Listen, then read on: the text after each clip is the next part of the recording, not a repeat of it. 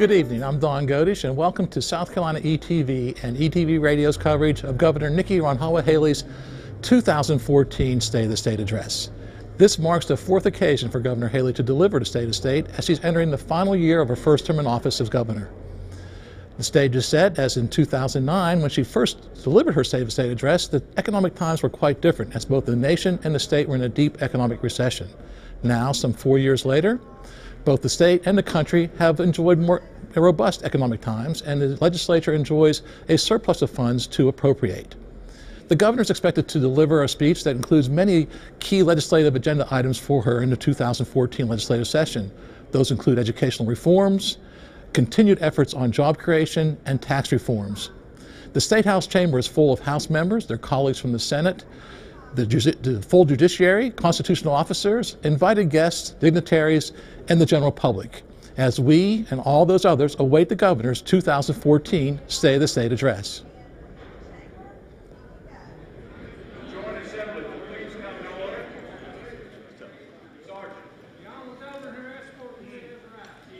The members of the Joint Assembly will please rise to receive Her Excellency, the Governor of South Carolina, the Honorable Nikki He's Haley. in a gray jacket. He's probably near Tom Corbin. He's got on a, a teal blue shirt, a gray, a gray.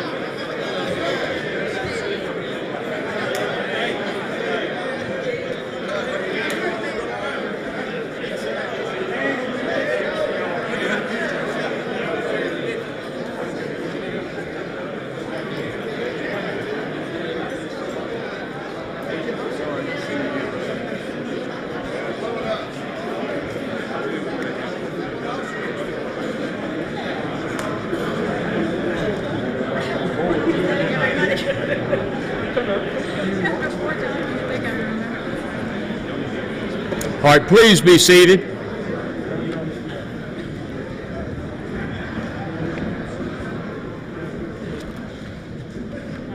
Ladies and gentlemen of the Joint Assembly and our honored guest, I'm proud to present to you the Honorable Nikki Haley, the Governor of South Carolina. Governor?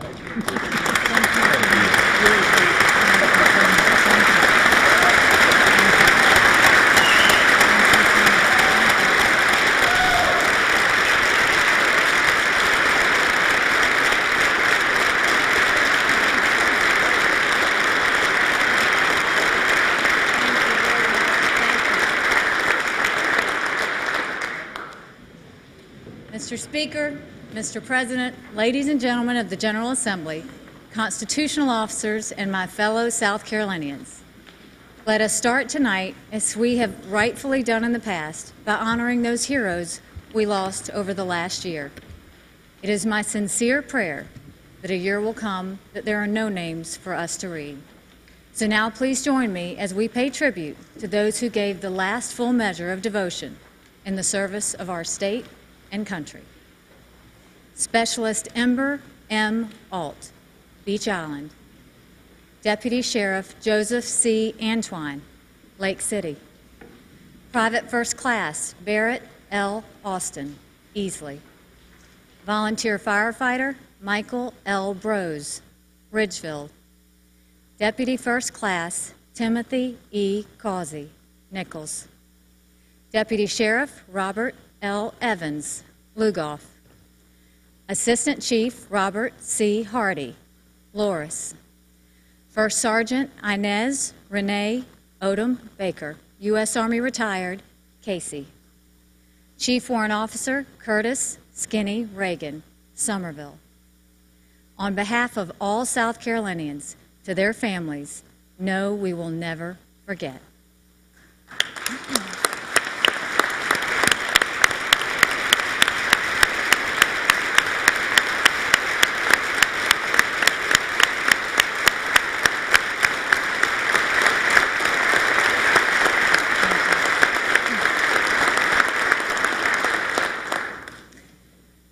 Am blessed to have the support of an amazing family, both sets of parents, my brothers, and my sister. But more than anything, I am the proud mom of two amazing kids who keep me grounded. To them, I'm just mom, and nothing makes me happier. Please help me welcome Nalin, who is now 12 and my star basketball player, and Rena, who is now 15 and my happy cheerleader.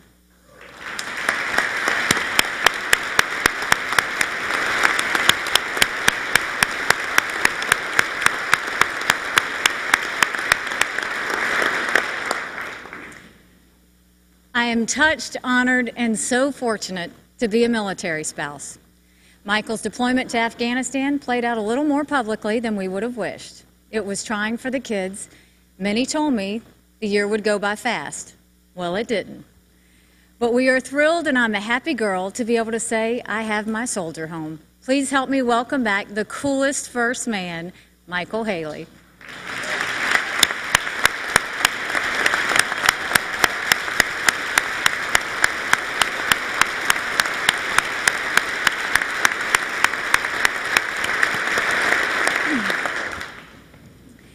Of the best things about giving this speech each January is it gives me the opportunity to celebrate some of the people and deeds that have made us all smile.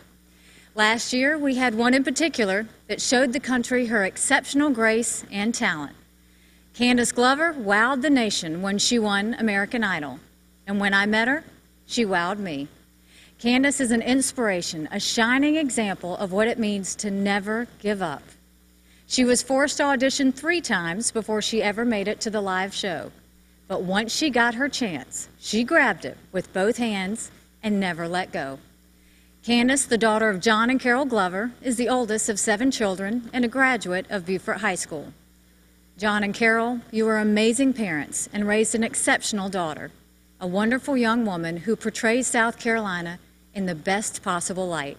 Please help me congratulate, thank, and celebrate our very own American Idol, Candice Glover. You have made your home state incredibly proud.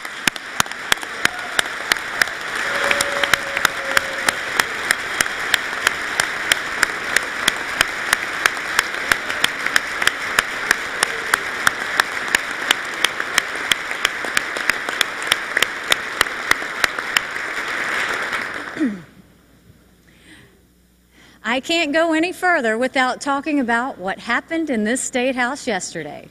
And I'll start by saying this Carroll Campbell, the father of restructuring in our state, is smiling down on South Carolina this evening. They said that good things come to those who wait. And while patience has not always been my strong suit, the passage of the Department of Administration, the biggest and most important piece of government reform South Carolina has seen in two decades, was well worth the wait. That we are able to celebrate this win is the product of a lot of work by a lot of people. But there are a few who have been down in the trenches fighting to make this a reality. And I'm going to take a moment to single them out. Representative Gary Smith, Representative Jay Lucas, Representative Greg Delleney, former Representative Jim Harrison, Senator Vincent Sheheen, Senator Thomas Alexander, Senator Larry Martin, and Senator Shane Massey. Thank you. South Carolina is better because of your efforts.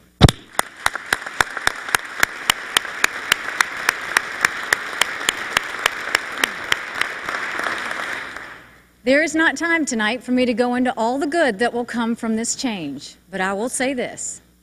The Budget and Control Board, what I call the big green ugly monster, is dead, and with it, the legacy of a backwards administrative government that was as wasteful as it was clumsy, as inefficient as it was embarrassing. We are a better state today. We will be a better state tomorrow. And yesterday truly was a great day in South Carolina.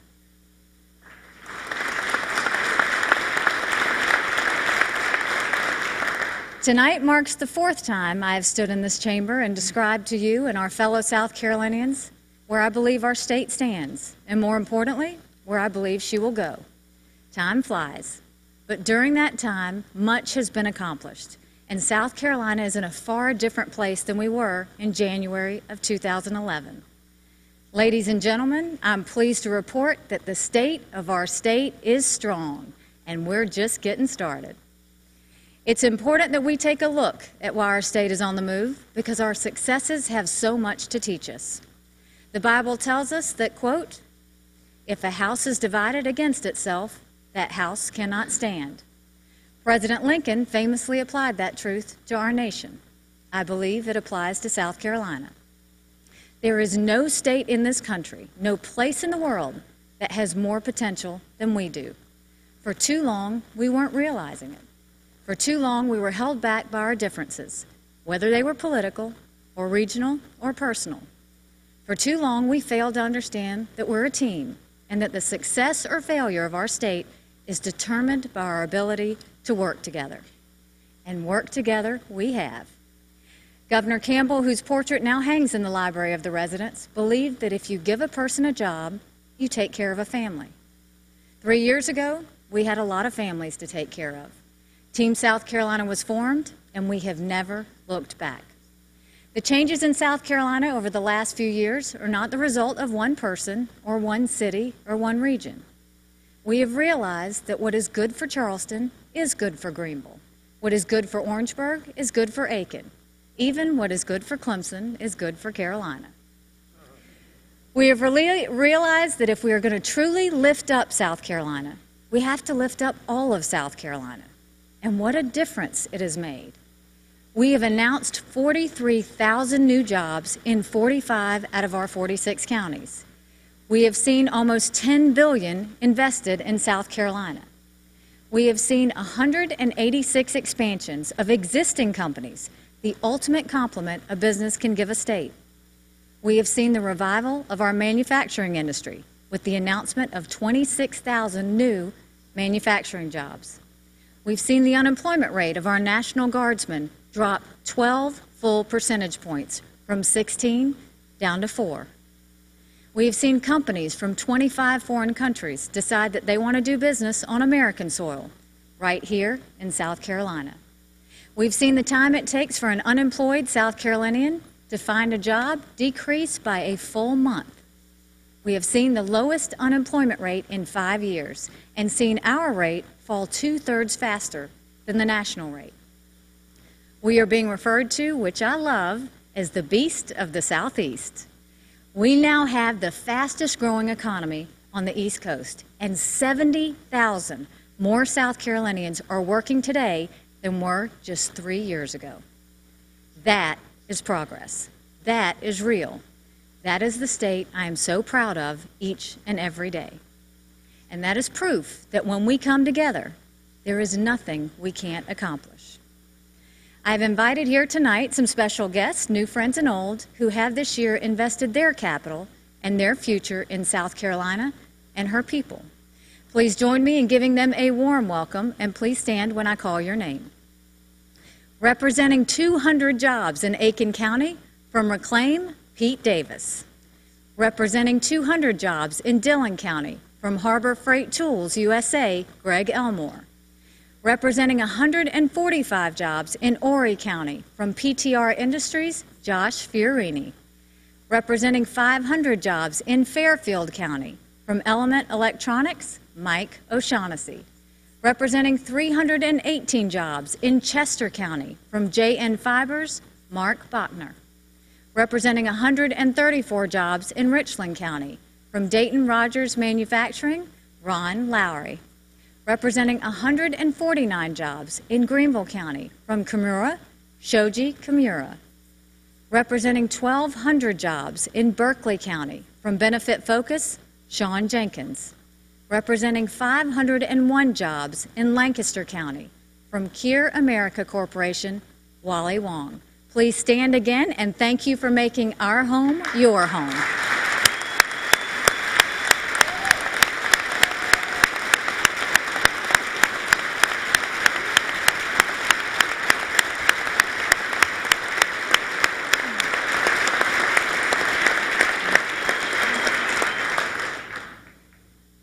Today, the entire country is looking at South Carolina and all she has to offer. But we ta- can't take our success for granted. As President Kennedy said, quote, Time and the world do not stand still. Change is the law of life, and those who look only to the past or present are certain to miss the future. Our future is bright, but we have to stay one step ahead in order to compete. And competing globally means always strengthening our business climate, continuing to prepare our workforce, and fighting back the federal government when they push to treat every state the same. Every year, standing here, I have asked you to join me in decreasing the tax burden we place on the families and the businesses of South Carolina. This budget year is the third year in a row that we've cut taxes for our small businesses.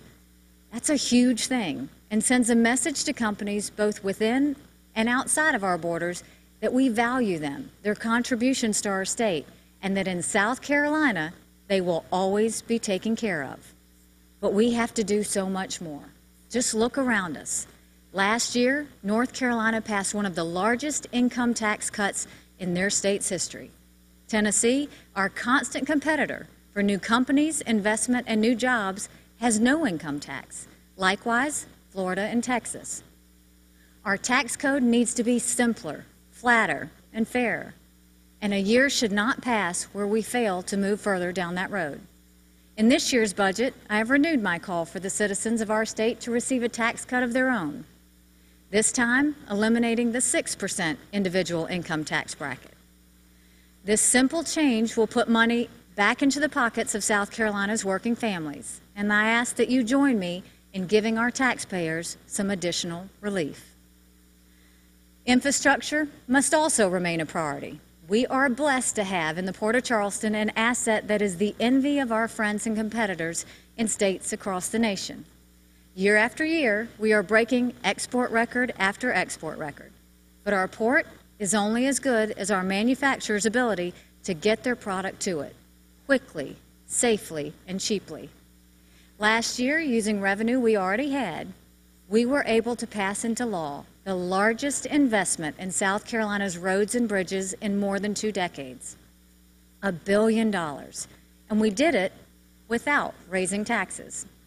South Carolinians are about to see orange cones popping up all across our state. It's a beautiful thing. And I want to thank Chairman Brian White and Senator Harvey Peeler for helping make that happen. But we know there's more work to be done. You might ask the question how do we pay for it? And my answer will be not by hiking taxes. We proved last year that we can invest in our roads and bridges with the dollars we already have. Raising the gas tax, forcing our people and our businesses to pay for more for the simple act of getting around is not an option for me. I will veto any bill that reaches my desk that raises taxes on gasoline. Unlike during the recession, thank you.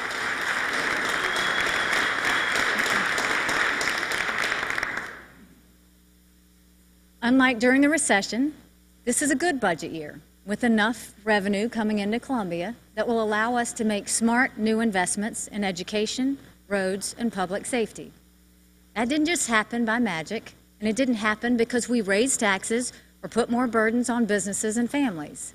We have a steady and strong flow of revenue into Columbia because we have the fastest growing economy on the East Coast, and unemployment is down to its lowest level in five years. If we start raising taxes, rolling over for federal mandates, and crippling our businesses, we will damage our growing economy and we will bring in less revenue, not more. Most importantly, we will stop the amazing progress we're making in putting our people back to work. So instead, this year, as last, our budget writers should take the additional revenue that inevitably appears after our budget is balanced, what I call the money tree, and invest it in our infrastructure. Since 2005, the money tree that falls every year has averaged more than $106 million. According to the Department of Transportation, those dollars invested in the right way will be worth more than 1.3 billion in additional road and bridge improvements. That is prioritizing. That is our job. It will come as no surprise to anyone who has heard me speak or has watched this administration that it is my firm belief that the federal government causes far more harm to South Carolina than good. Those running the federal government make our job more difficult, day in and day out. Unfortunately, that is simply the reality we are faced with. What is not a reality in South Carolina, however, is the idea that we simply have to take every problem the feds send our way. We don't, and we haven't. Those of us who fought the president's disastrous health care plan have watched as predictions of lost coverage, rising costs, and unprecedented dysfunction have come true. Obamacare is damaging to the country, and it is damaging to South Carolina.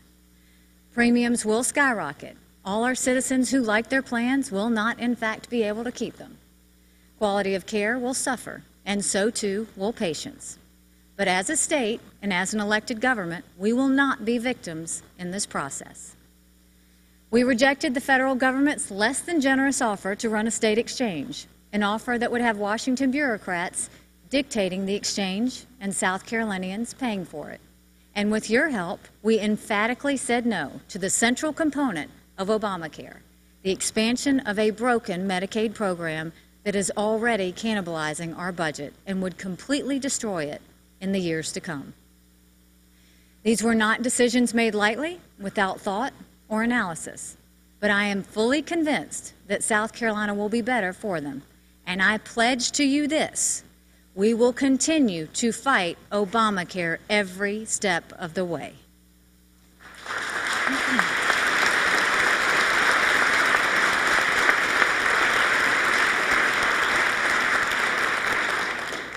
While we oppose Obamacare, we have an obligation when the federal government stands in our way to get creative and figure out how to better serve our citizens. We've certainly done that in healthcare, working within the system to increase transparency and drive costs out of Medicaid. And this year, we are proposing a new way to cut the waiting lists for the neediest among us, providing 1,400 disabled South Carolinians with the care they've been deprived of far too long. But there is no greater example of South Carolina getting resourceful and innovative with a federal program than the way we have tackled welfare. One of my focuses since the day I took the oath of office has been to change the perception of South Carolina. We have so much to be thankful for, so much to be proud of. I want every citizen in and out of our state to feel the same way about South Carolina that I do. Traveling the state, I often heard the complaint that there were too many dependent on government assistance. There was a belief that some of our fellow South Carolinians were choosing to remain on welfare rather than get a job. I don't believe that. We are a proud, resilient people, South Carolinians. Given the opportunity, we want to make a better life for ourselves and our families.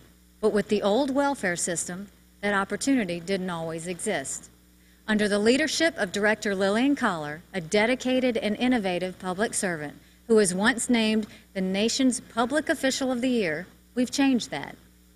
Previously, with Washington having its way, we would handle welfare, welfare recipients by asking a few simple questions, effectively checking a box and handing over a check.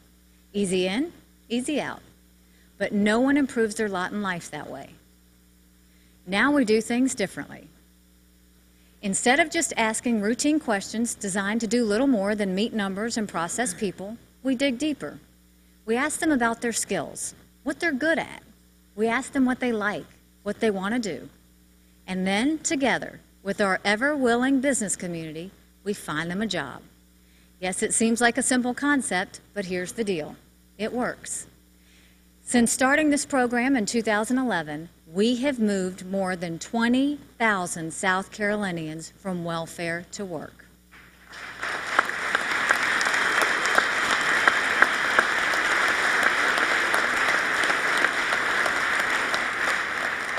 We should all be proud of this program. But more than that, we should be proud of those workers, those South Carolinians who traded the false stability of a welfare check for the true dignity of a well earned paycheck. We should all remember what this success story proves that those out there struggling day to day, they don't want to spend their lives on the couch. They want a chance for more, to make their children proud. It is our responsibility to give them that chance, and I couldn't be more proud of the fact that here and now it's a responsibility we will continue to fulfill. There is more to changing the perception of South Carolina than putting people back to work, much more. And it starts with all of us in the chamber here tonight. The 20th century Supreme Court Justice Louis Brandeis once remarked, quote, "The most important political office is that of the private citizen." I believe that with everything I have. But sometimes those of us in public office forget those words. When that happens, the consequences for us, for our shared constituents, for our system of representative democracy are all devastating. When we lose the public trust, when we lose their confidence, we lose the ability to govern. Last year, in this very speech, I took great pains to outline why we are dangerously close to losing the trust of the South Carolina public. I listed the shameful way the ethics laws and standards for South Carolina elected officials were ranked by independent watchdogs. I thought about doing so again tonight, but then I realized there was no need. There was no need because we already know. We know that the ethics laws that we have are not good enough. We know that the public deserves better than the government we are giving them. We know that South Carolina needs stronger and clearer ethics laws, and we know we need it this year.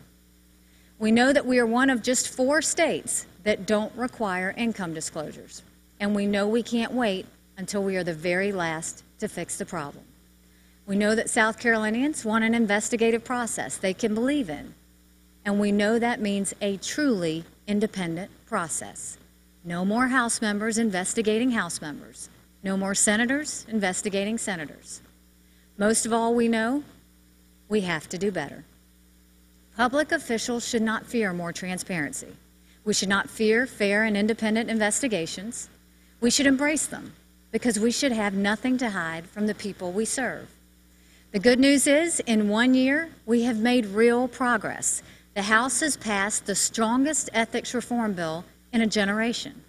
The Senate, in large part thanks to the perseverance of Chairman Larry Martin, moved that bill quickly through the committee process. I would be remiss if I didn't again thank Attorneys General Henry McMaster and Travis Medlock for the remarkable reform package they put together. And if I did, if I did not give special recognition to Senator Chip Campsen, Senator Wes Hayes, and Representative Rick Quinn for their leadership in helping to push this legislation forward. But we're not done yet. As the Senate is poised this month for debate, I ask you not to water down this historic reform.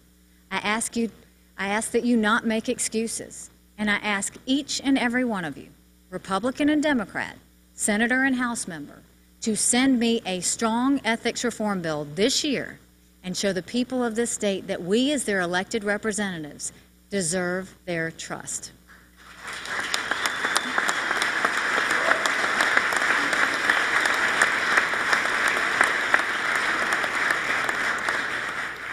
Just two days ago, our nation celebrated the life of Dr. Martin Luther King Jr. It goes without saying that he wrote and said much of great consequence in a life cut altogether too short. But one particular sentiment struck me. Dr. King said, quote, There comes a time when one must take a position that is neither safe, nor politic, nor popular, but he must take it because conscience tells him it is right. That call to conscience could apply to the ethics laws I just spoke about and the need to restore the public's faith in our government. But to me, it had a different meaning. It struck a different chord. What weighs on me is the education of South Carolina's children. The time has come for us to do what is right. Many of you may know my story by now of my educational experience. It's something I've been talking about for years, but I think it bears repeating here. I was born and ra- I was born and raised in Bamberg and went to school in a brick box. We didn't know what we didn't have, but we always took care of each other. Now, my daughter Rena attends the brand new River Bluff High School in Lexington, where every classroom has a 72 inch television and every child has an iPad. I wish I could say that was generational progress, but the thing is, it's progress based on geography, not on generational advancement. Because when I went back to Bamberg to give an anti bullying speech, the school didn't even have the equipment to show a video. That's wrong. It's immoral, and it has to change. I still remember what it was like as a young girl in Bamberg. I remember the feeling of seeing other schools that were bigger and nicer than ours and wondering what that must be like. Our kids should never feel that they are more or less worthy based on where they live. Our children should all feel like they have every opportunity to be as successful as they dream to be. And South Carolina can no longer accept the quality of our children's education being determined by where they are born and raised.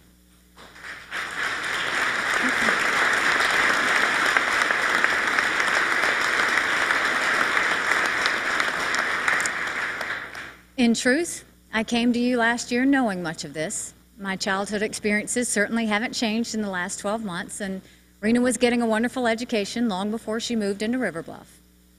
What I didn't know was exactly how to change it. So I asked for help. And as I've found to be the case time and again, the people of South Carolina delivered just what was needed. The education conversation we started one year ago was one of the most interesting and enlightening experiences I've had as governor.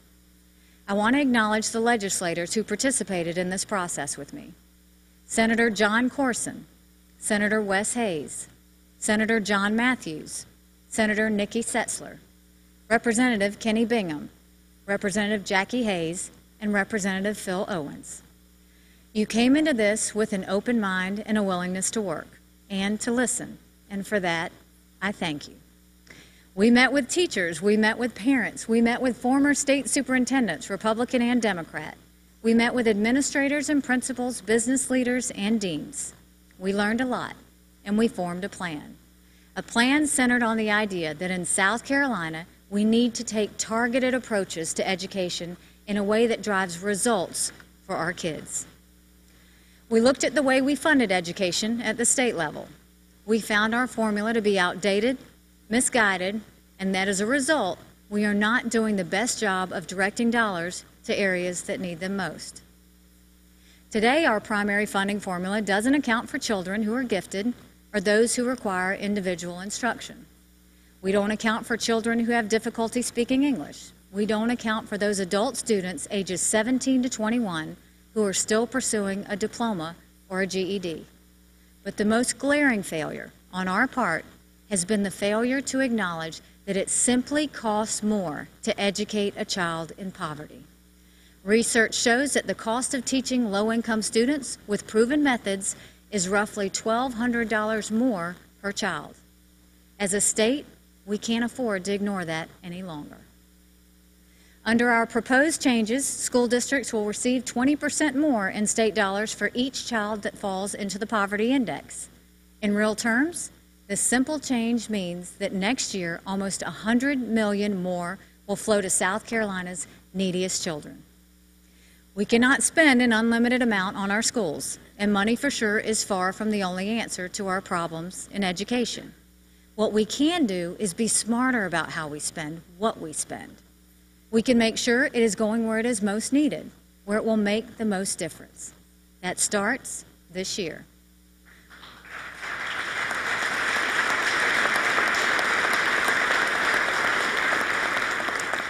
We have fallen into the bad habit in South Carolina of promoting students through grade levels before they are ready.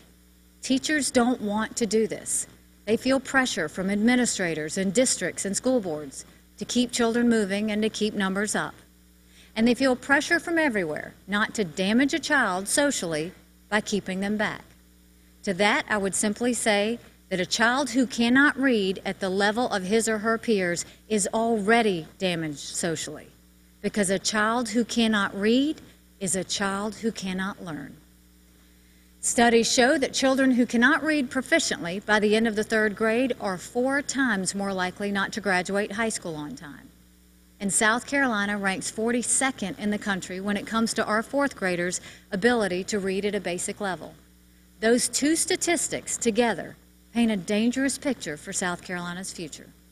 But we can turn the tide. Led by Governor Jeb Bush, Florida undertook one of the most meaningful transformations in education this country has ever seen. And when I asked Jeb, he told me the most important thing they did was teach those kids to read. We're going to follow that model. Every elementary school in South Carolina will be offered a reading coach to make sure that no child leaves the third grade unable to read.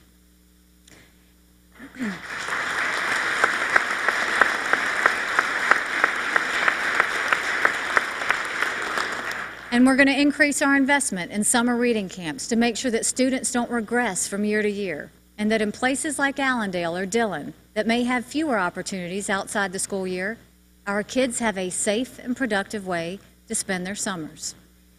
It has been said that, quote, to learn to read is to light a fire. We can light that fire in the mind of every child in South Carolina, change the fortunes of generations of children yet to come, and forever alter the direction of our state. Earlier, I spoke briefly about my trip to Bamberg and the gap that exists in technology between our schools that have and those that have not. Technology is the future, not just in education, but in all aspects of our lives. We cannot pretend that we are preparing South Carolina's children for the world that awaits if some of them remain unaware of what that world looks like, especially when that lack of awareness is not their choice, but is imposed upon them by circumstance, or worse, by our indifference. South Carolina is going to invest in education technology in a way that we never have before. We are going to make sure that the internet gets to our schools. We're going to make sure that those schools are wired to receive it. We're going to provide the tools, computers, tablets, and instructional materials so that our teachers can get the most out of our investment and out of our students. And South Carolina schools are going to be equipped to compete with any school in any state.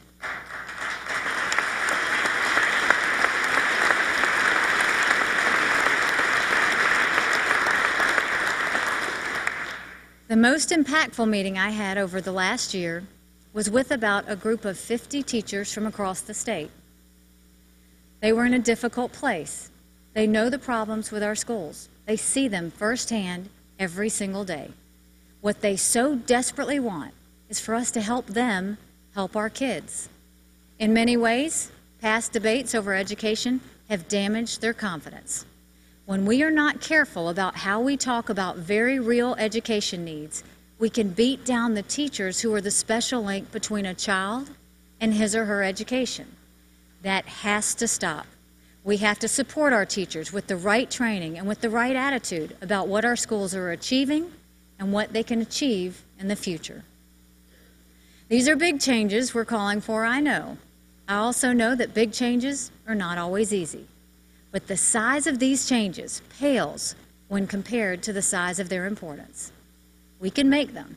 We can transform education in South Carolina, and we can do it without raising a single tax without taking a single existing dollar away from a single district.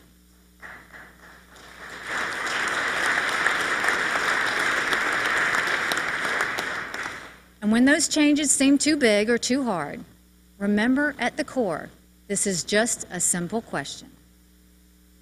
Are we willing to stand two children side by side and tell one that through no fault of his own, he is going to attend a school with less, while at the same time telling the other she will have every ounce of support she needs to thrive?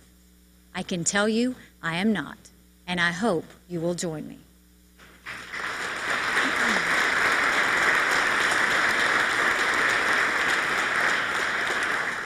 I started tonight proclaiming the state of our state to be strong. I believe the path I've outlined here tonight will make South Carolina even stronger. It's a path that creates jobs at a much faster rate than the rest of the country, a path that moves more people from welfare to work, a path that cleans up our ethics laws, and a path that gives every child, no matter the circumstances of their birth, a chance at success. Last year, the world lost an iconic woman, and I, a personal hero. Margaret Thatcher was a towering figure of history, a force for what was right and what was good. She will be missed, but her words will remain with us. Quote, Look at a day when you are supremely satisfied at the end. It's not a day when you lounge around doing nothing. It's when you've had everything to do and you've done it. South Carolina is in a far better place than just a few short years ago, but we still, in Lady Thatcher's words, have everything to do. We can keep South Carolina surging forward. We can create new opportunities and tackle our challenges. We can continue to make South Carolina the best place in America to live, work, and raise a family. But I can't do it alone. I ask each one of you in this chamber to lend your support and your energies to securing the future of the state we all so dearly love. It's a future that is just so bright. Thank you, God bless you, and may He continue to bless the great state of South Carolina.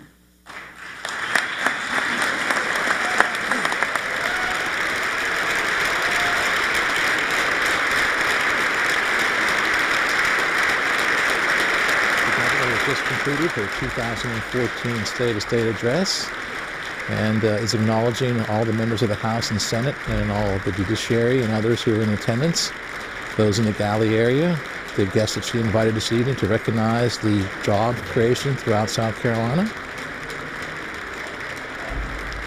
It was a relatively short speech, but she hit on all the primary topics of her legislative agenda for 2014.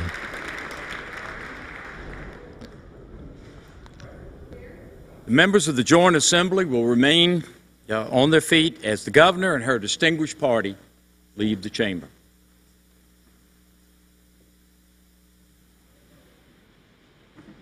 End of the joint session as the governor is getting ready to exit. Acknowledging all those special guests.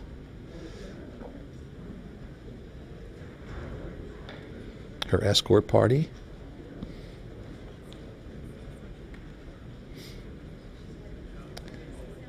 And acknowledging members of the House and Senate as she exits the House chamber.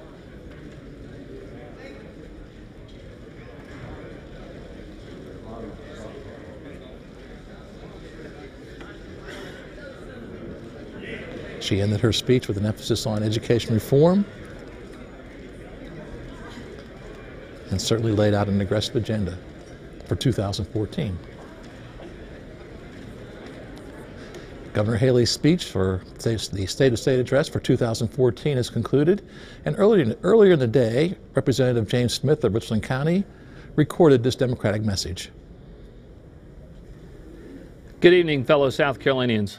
My name is James Smith, and I'm grateful to serve the people of South Carolina in the State House of Representatives. I've been given the privilege of providing the Democratic response to Governor Haley's State of the State address. As Democrats, the minority party, we are the watchdogs of the governor and the Republican majority. We share a deep and abiding love for our state and have a duty to the people of South Carolina to speak out. But first, and I know I speak on behalf of a grateful state and nation when I say, welcome home to Captain Michael Haley from his tour of duty in Afghanistan, and thank him and the 18,000 of my fellow South Carolina Guardsmen and their families for their service and sacrifice for our nation. As long as this country intends to remain the land of the free, it must always be the home of the brave.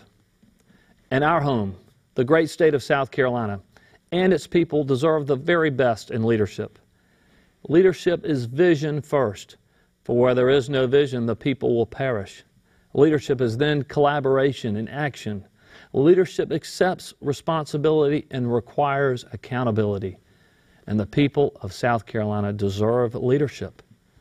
Leadership that makes public education job one, day one, and not wait four years until election time to make our children's future a priority.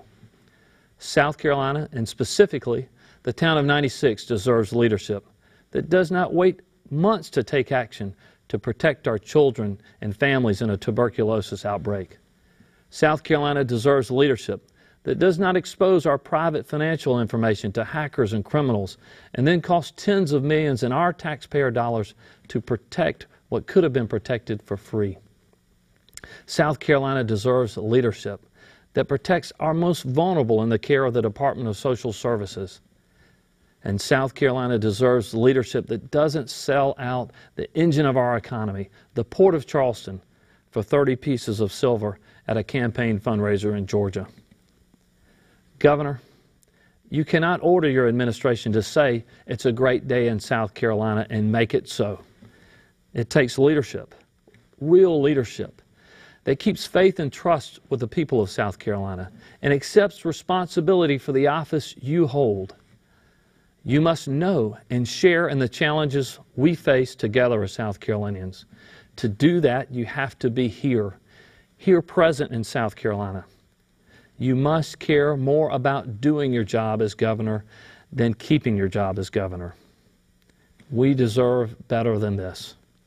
We, the people of South Carolina, urban, rural, low country, Midlands, and upstate, seek a South Carolina where our values are upheld, our resources are preserved, and our human capital enriched. We expect our leaders, Republicans and Democrats, to be more concerned about our next generation than their next election. We expect our leaders to work together for us all, regardless of party, ideology, race, gender, sexual orientation, or religion. For the road to a peaceful and prosperous South Carolina must be paved and expanded with a real commitment to fix our crumbling roads and bridges. We can and must preserve for generations our natural heritage because the health of our environment is necessarily tied to the health of our economy.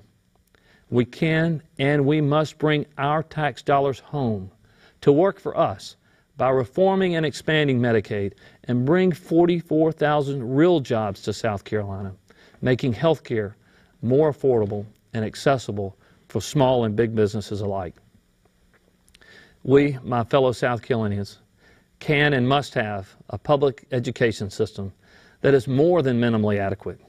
Indeed, we have before and we should again move to lower class sizes, increase teacher pay to the national average. We can make higher education affordable and leverage our research universities and technical schools to fuel our continued economic growth.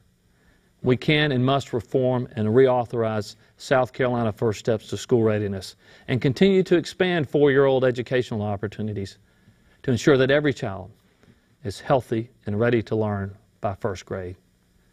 We can and should be the center of gravity for renewable energy development and lead the region and country in solar power production.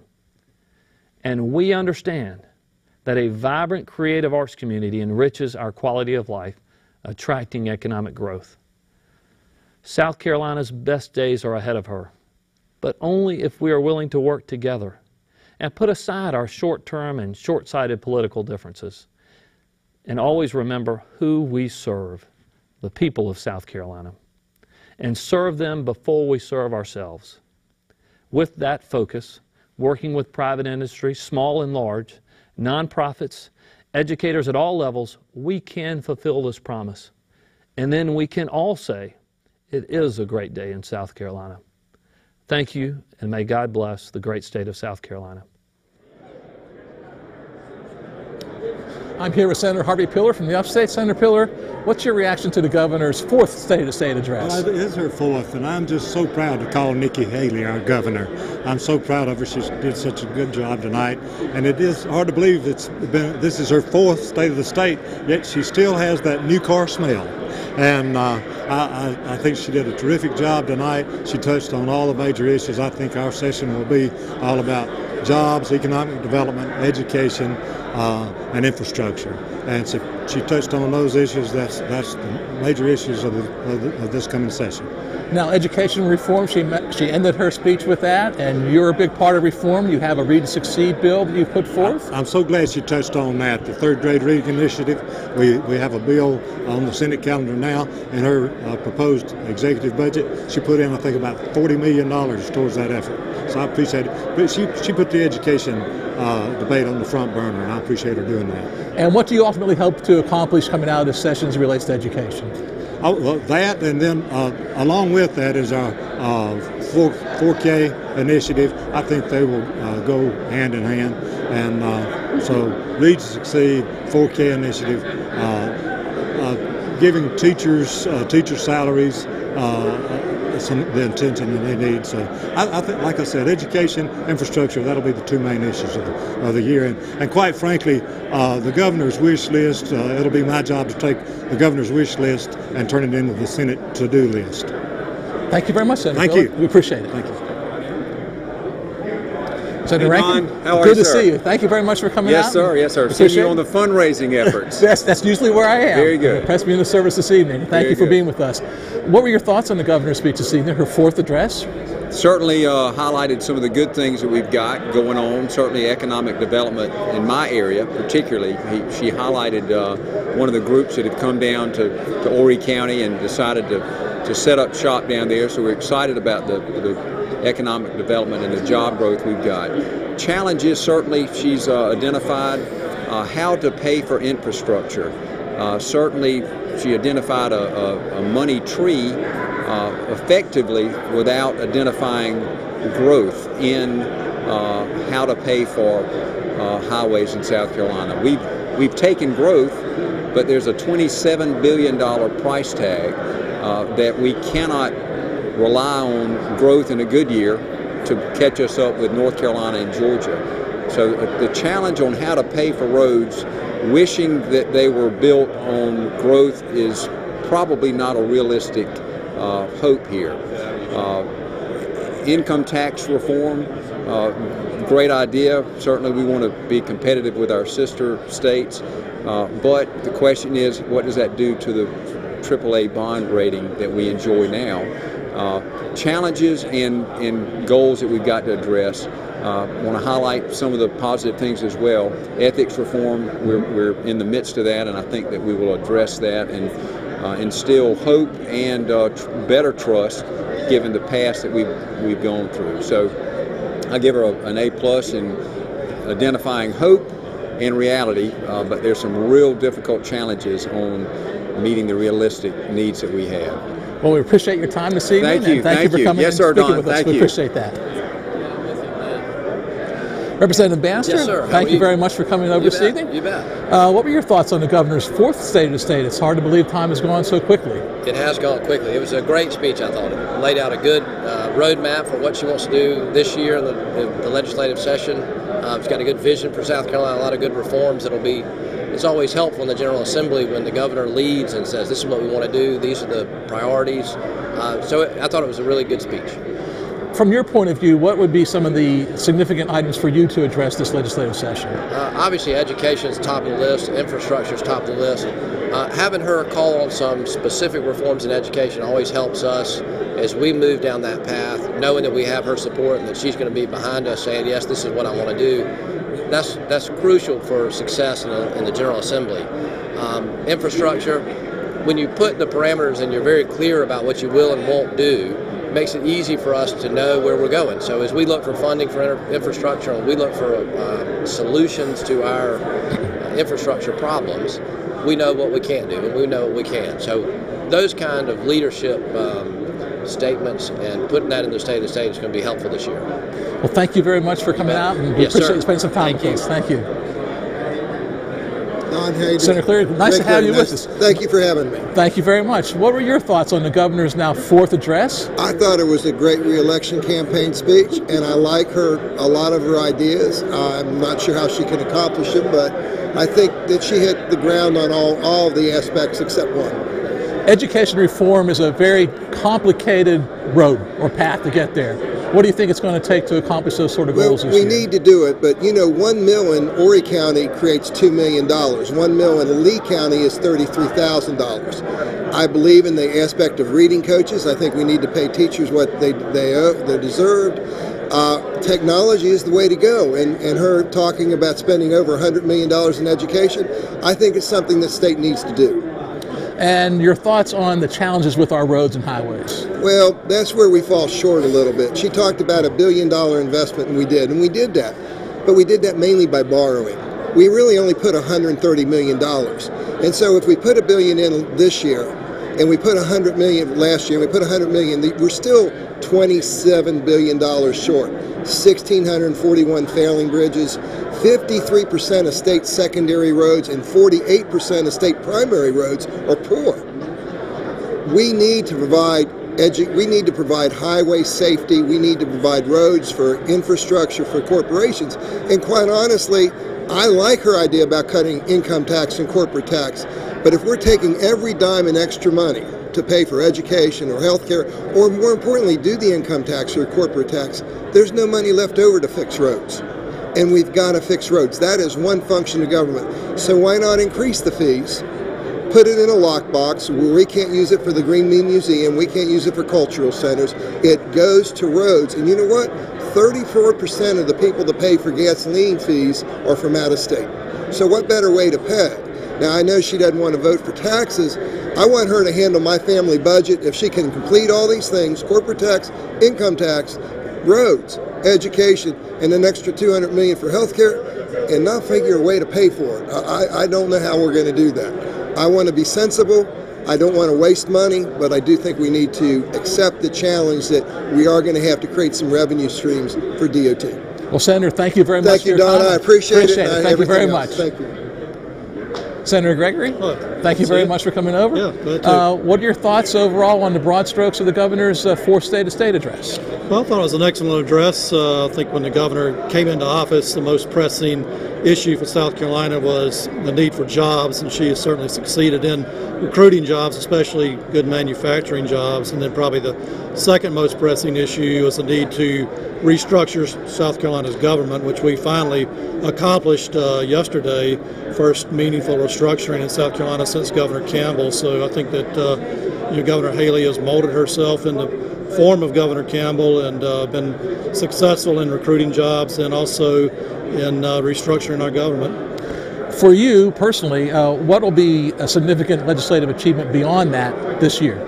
Well, I think the governor is, you know, turning her attention now to education, and uh, the task that she has put put before us is a, you know, a very tough task, and that is to bring uh, rural areas of South Carolina up to parity with the best school districts in the state. It's been a generational problem for South Carolina, but I think the governor, you know, coming from a rural district, understands uh, the need for that, and hopefully, you know, how to do it. Uh, I think the other pressing issue for the state right now is our roads. Um, I wouldn't agree with the governor with regard to, you know, how we're going to get the money. I think that a tax increase is going to be necessary. We can't maintain the third largest uh, road system in the country with the third lowest gas tax. It is an expensive proposition. It is. The arithmetic just doesn't work. I think the public's in favor of a small increase at the least in the gas tax in order to uh, just to alleviate the damage to cars that are being done being done every day in our state due to the poor condition of our roads. So uh, hopefully we can uh, you know come up with some formula that we can all agree on in addition to what we did last year to you know, bring our roads up to standards. Well, Senator Rankin, thank you very Thank much you. for your time. you. Have a good evening. evening. Representative Mack, nice Yeah, to see you. Thank good you for coming you. over. Um, what are your thoughts, first blush, on the governor's fourth state of state address? My thought is it was too much anti-federal government, and that is a trap that I'm hoping the state of South Carolina doesn't fall into. After all, we're part of one of the, one of the 50 states. We pledge allegiance to the flag. We're not a part of the Confederacy anymore.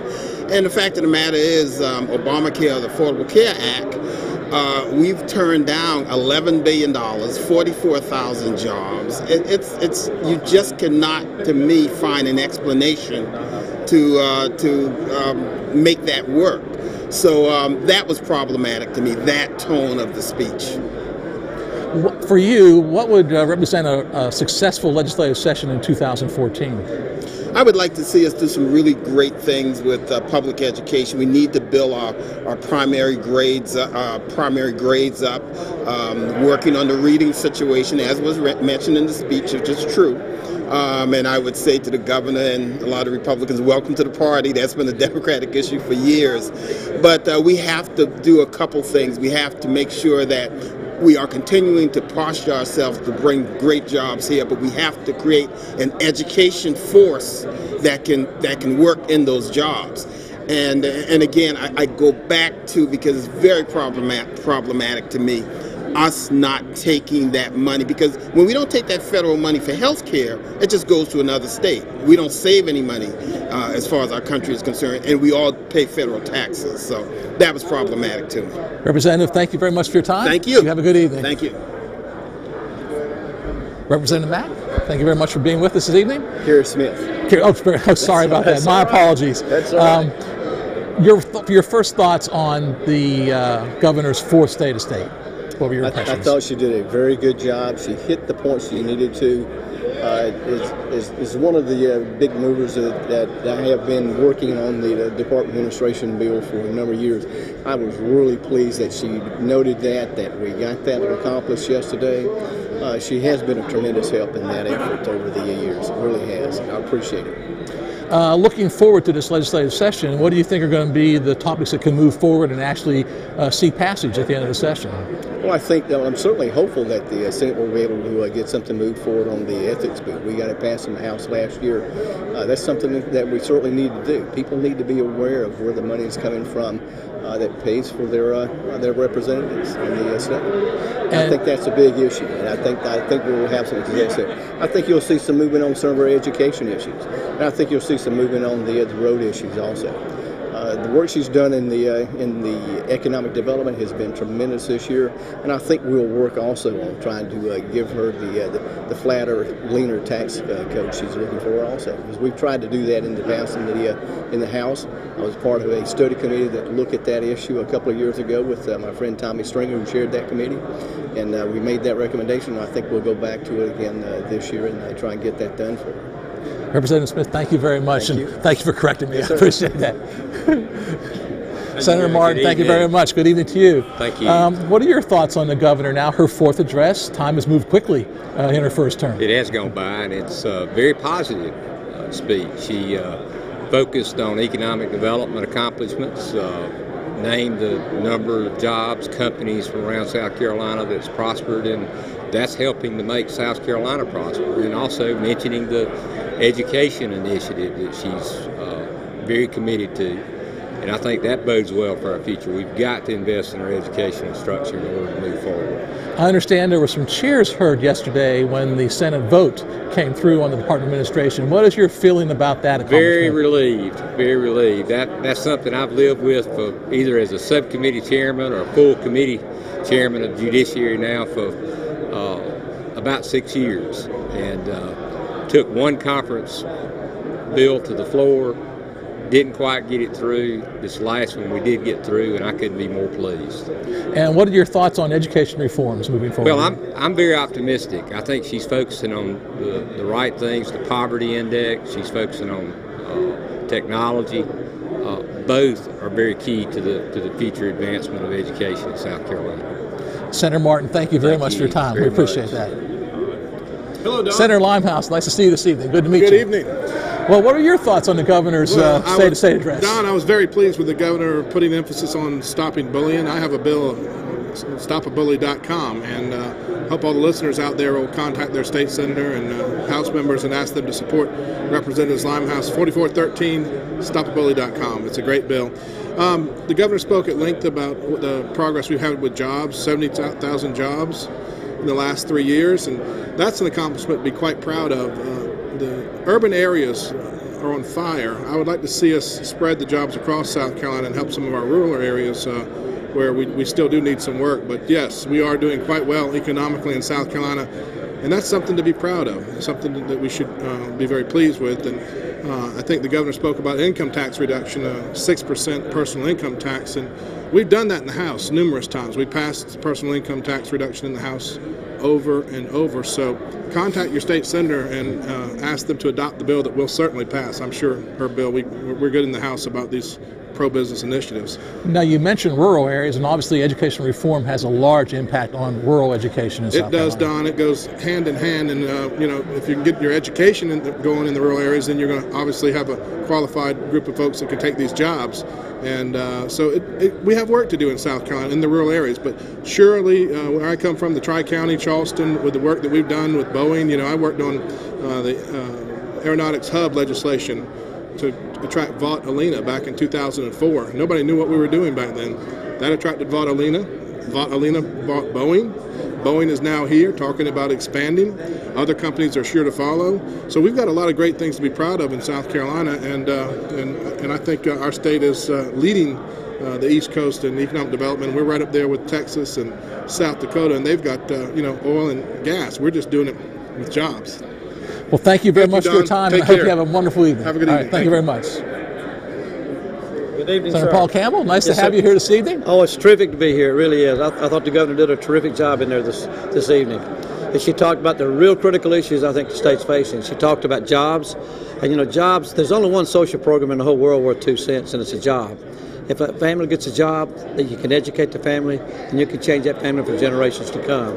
She talked about education. Well, you're not going to have jobs unless you've got an educated workforce, and we've got to continue to our work, workforce. We've got to support K-12 education. We've got to fundamentally change the way we educate our kids. We've got to make them better at what they do, and we've got to make sure that our schools are properly equipped so that we can do that education process. She talked about infrastructure. You can't have economic development and jobs without infrastructure. We've got to build our roads and our bridges. North Carolina has 330 uh, load deficient bridges. In South Carolina, we've got 1,300. We've got to do something about our roads and bridges are literally falling down around us. We've got to continue to put resources in those, and we've got to be able to get our products in, our products out, our, our people to work and from work, and to shopping and from shopping. We've got to continue to work on those type of things. For you, what would mark a successful 2014 session? Oh, the market. Well, we've already done some really good things. We, we passed 308, which was a restaurant carry bill for weapons. We're trying to protect the Second Amendment. Today we finished, or yesterday we finished the Department of Administration. That's going to make it better. We still got some real issues to address, but I want to address all the economic development thing that we can. I want to help create jobs. I want to get that unemployment back down into the five percent range. I want to put our people back to work again. I want to watch the state grow. I want to watch families get better. I want to watch families flourish, and to do that, I want to make sure that our education system is in really good shape. Senator Campbell, thank you so much for your time. Thank you so much. Pleasure to appreciate it. Thank you. Senator Massey, good to see you. Good to see you. Good to see Thank you very much. What were your thoughts, your first general impressions on the governor's fourth state of state address? Yeah, I thought it was positive and and practical. I mean, she, uh, she she celebrated some of the successes that we've had in the state over the last year, and I think that's important. I think we need to be reminded of the good things that happened. But then she also acknowledged some of the major challenges that we had, and then tried to set out her vision for how to address those things. So I thought she was positive with the speech, and I thought she was also practical in recognizing some of the challenges that we have. Speaking of those challenges, two of the large ones, roads and then also education reform. Sure. How do we get there? Th- those are those are, those are big challenges. Those are challenges that have been around for a while, and quite frankly, they're worse now because we kicked them down the down the road for a while. Uh, but but infrastructure was a big deal last year, and I think it's going to be even more of a discussion this year, and it should be. It should be. So what we've got to try to do is to figure out how to how to get the money that we need in order to in order to fund those road road and bridge repairs, to keep up the maintenance. And it sounds like the governor was kind of boxed into a corner with some of the pressure she got because she came out pretty emphatic and said that we're not going to have a gas tax. So that, that certainly is going to is going to impact how we're going to try to find that revenue. Well, wish you luck with that, Senator. and Thanks thank a you for your All right, time. have a good night. Okay. Representative Taylor, Yes, good to sir. see you. Nice, Nice a pleasure to to meet you, you sir. as well. Thank you you. very much for your time this evening. Thank you. So, on first blush, what are your thoughts on the governor's fourth State of the State address? Well, I was impressed in particular by her, uh, of course, touting the economic development that's occurred here in the last several years. It's been marvelous, you know, and we are the beast that roars here in South Carolina. Also, her education agenda, she's on the money. It's just a beginning, and yes, it, it does involve some money, but as vice chair of the House Education Committee, we, that's a good start. We've got to do better than we're doing. But I was particularly struck by one line in her address, and she said the federal government does far more harm to South Carolina than good. That couldn't be more true at every level.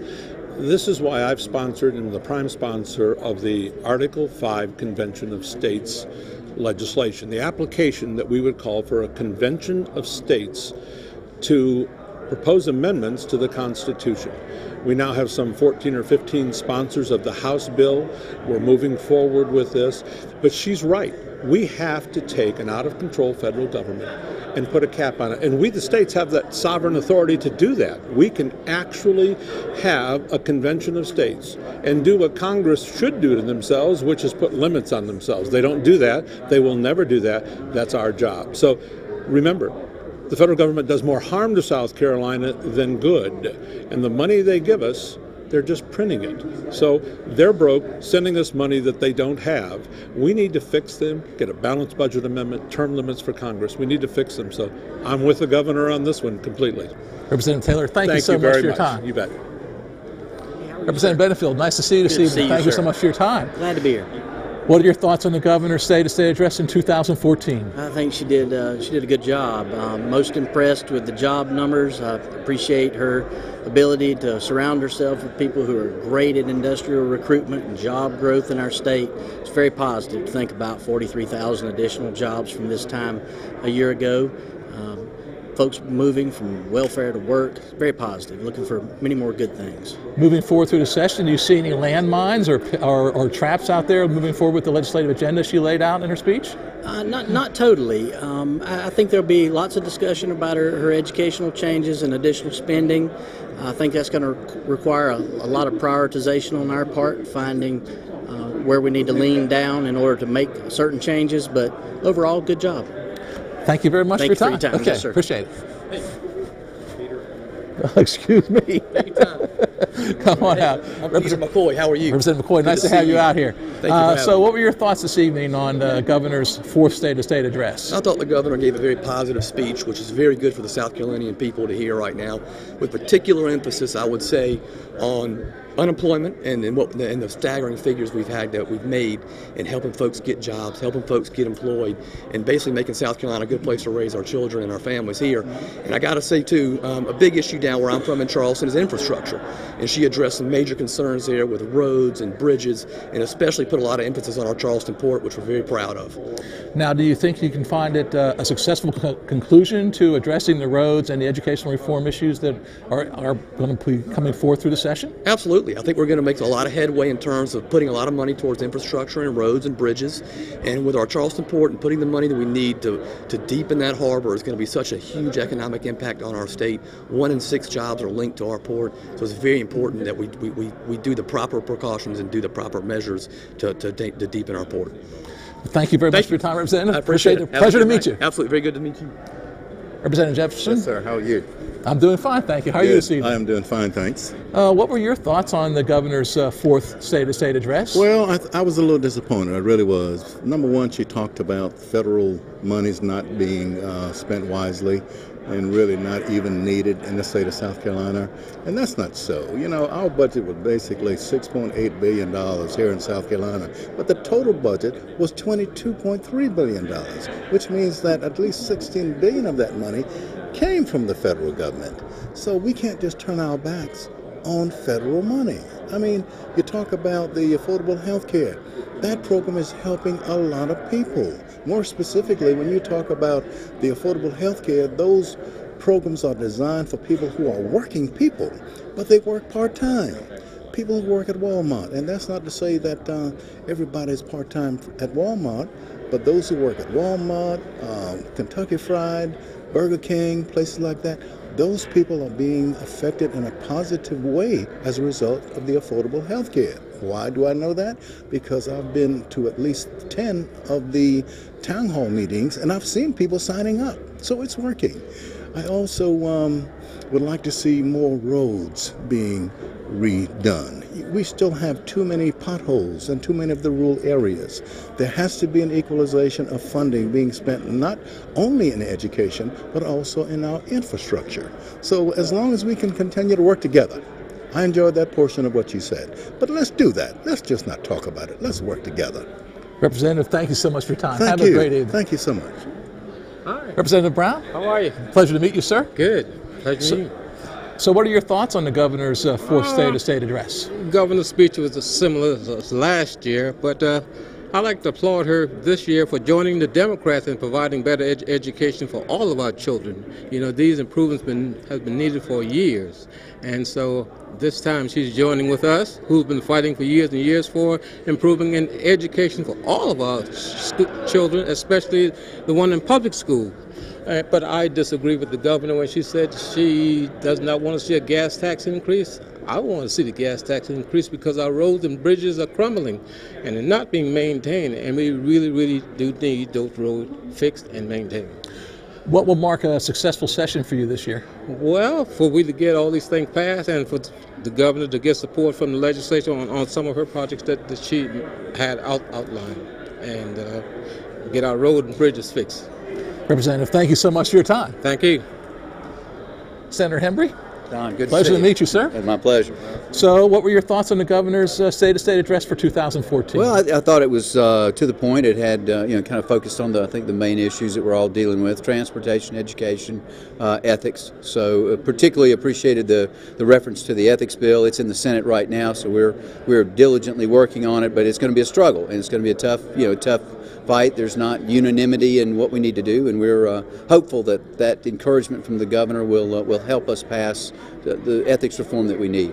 I was going to say those that agenda she laid out. That's heavy lifting. Those those are not easy issues to accomplish. So, what are your what are your hopes and, and what do you like to see at the end of the session? Well, uh, if we can make some strides toward education, I think that uh, that uh, reading program is is a, a, key component. I think that's good policy, and we need to go forward with that. We've got to find more money for transportation. However, you know, however we do that, um, I mean, that's just something that's going to chron- that's going to be a chronic issue that we're going to deal with every year. But the ethics bill is the thing we need to deal with most critically now. So that's uh, that's that's right in front of us, and that's what we need to take care of tomorrow. Senator, thank, thank you very you, much, and good luck for the session. Representative Gilliard, yeah. pleasure to meet you, sir. Nice to meet you. So, yes, what were your thoughts on the governor's State of State address for 2014? Well, I think it was just political grandstanding. Uh, you know, even the issues that she talked about funding education, it's always been a Democratic issue.